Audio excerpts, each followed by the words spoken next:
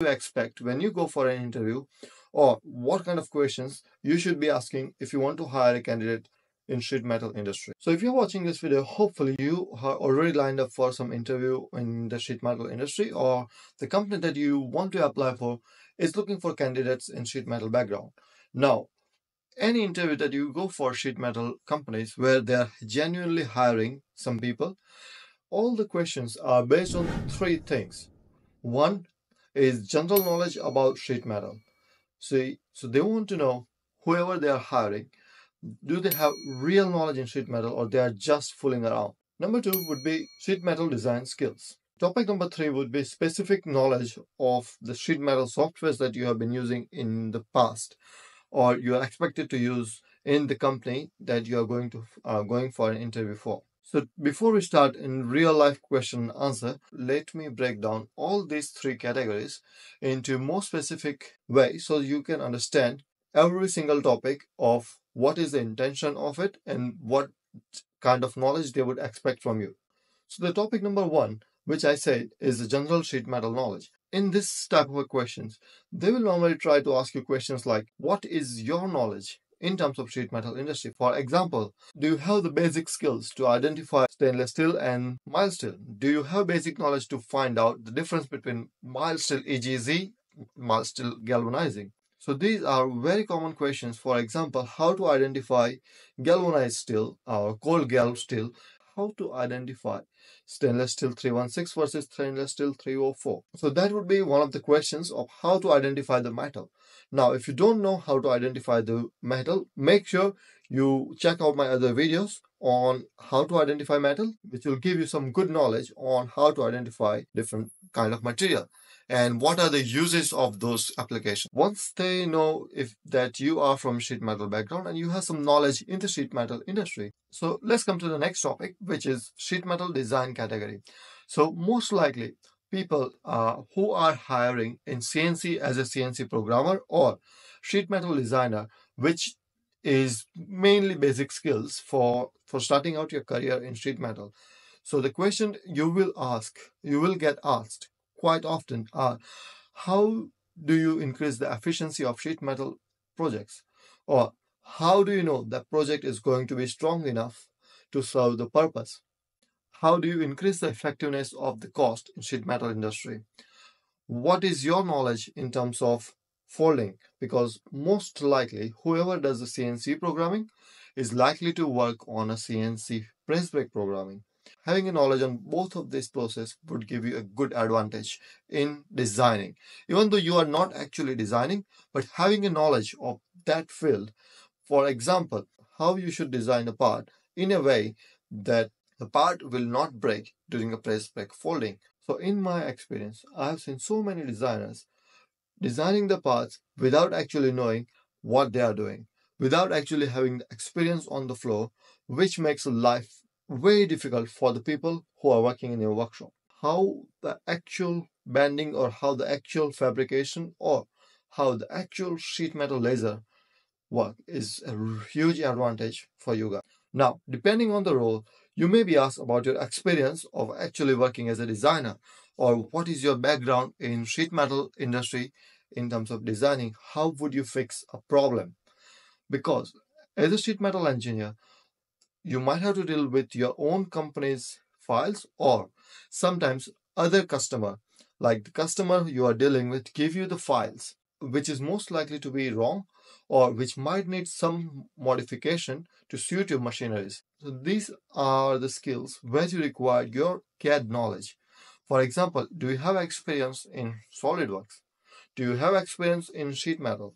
Or do you have experience with DraftSight or Solid Edge? Or what kind of software that you have worked in your past.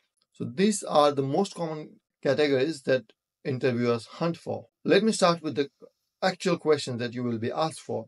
For example, what is the different type of the sheet metal that you have worked with in your life?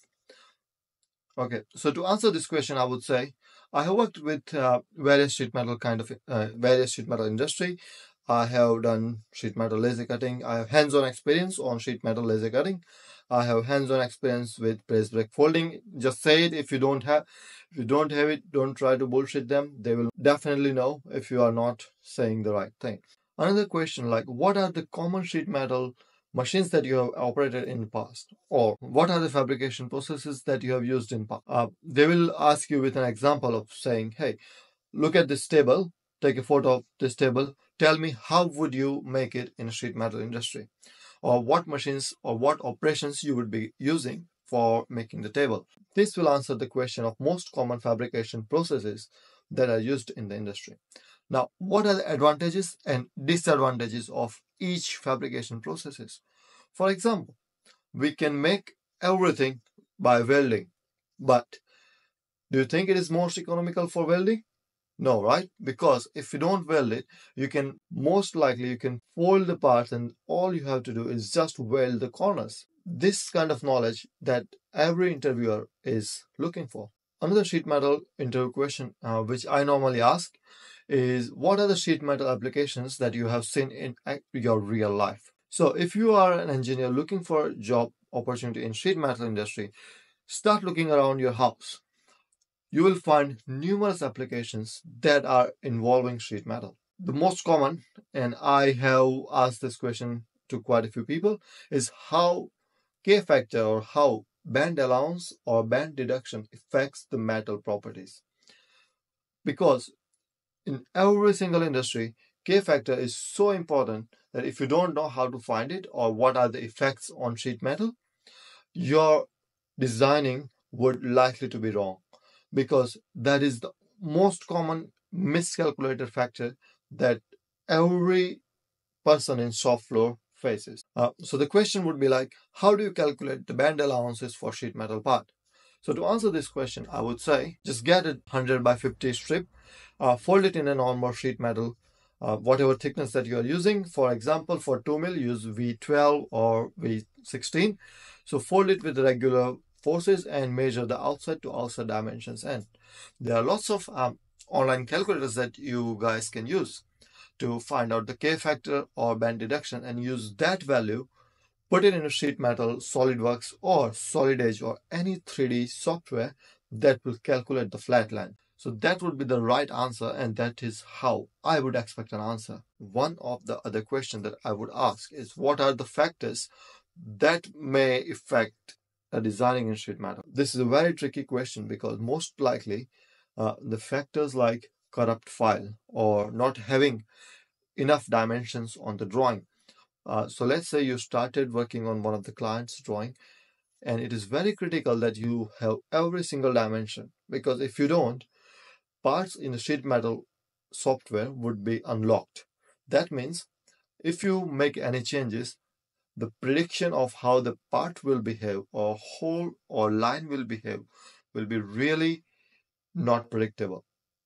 that will cause a really expensive rework and waste a lot of time in sheet metal workshops. Another question is how can you improve the strength of the sheet metal part? So another tricky question that I would ask is how will you improve the strength of the part without actually increasing the thickness? To answer this question, you can you can say there are two ways to increase the strength of the material. Method number one would be add some folding into the material so it has some stiffness. Method two would be add some stiffness of the same material, of same thickness to support the structure.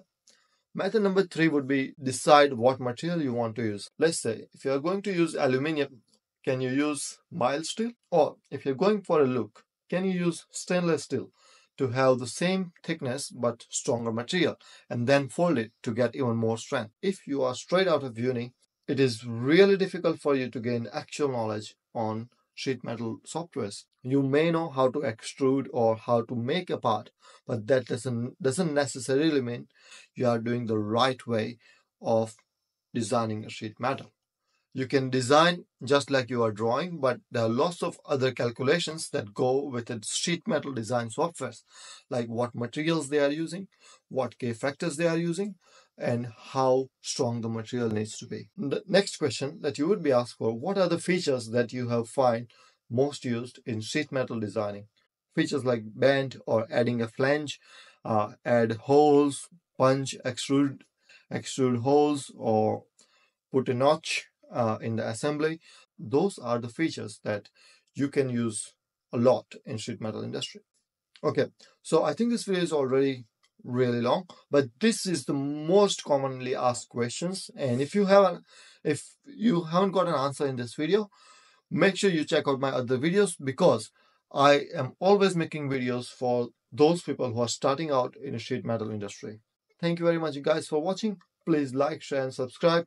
I will see you in my next video.